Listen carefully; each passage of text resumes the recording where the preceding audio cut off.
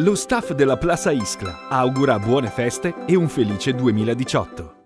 Dopo la paura è l'ora degli interrogativi. Cosa ha spinto il trentenne che ha seminato il terrore in piazza Garibaldi a lanciarsi con l'auto in mezzo alla folla? I pareri e i commenti, le ipotesi è inevitabile si susseguono da sabato pomeriggio, soppiantati solo in parte da quelli sulla nevicata delle ultime ore e sulle sue conseguenze.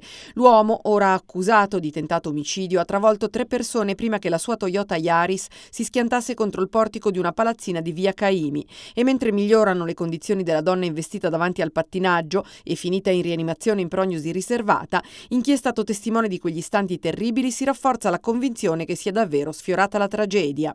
Le nostre protezioni hanno fatto il loro dovere, hanno tenuto per fortuna e effettivamente poteva succedere il peggio. Mi dispiace ovviamente per la signora che è stata coinvolta, che so che sta meglio. E... Dove si trovava esattamente questa signora?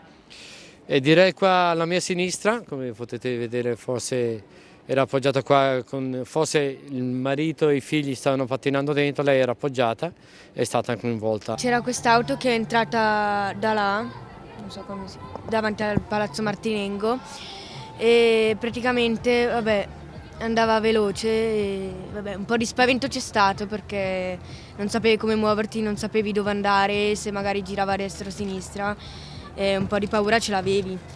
Hai visto che è arrivata una macchina così velo veloce, si è cacciati così mio bancarello e tutto, è scappato. Tutto bene, c'è magari forse un po' meno gente, però noi siamo molto tranquilli anche perché pensiamo sia stato un caso sporadico e circoscritto.